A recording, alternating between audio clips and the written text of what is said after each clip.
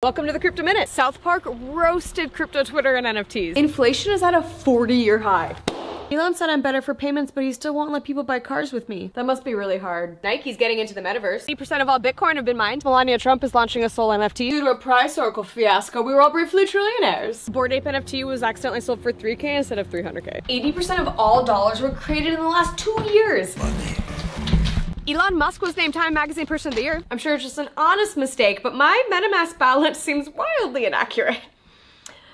Oh, uh, can the can the devs do something? You can now give Bitcoin on Cash App. Breaking news, Russia attempts to ban Bitcoin for like the millionth time. Senator Warren thinks that stablecoins prop up the shady DeFi industry.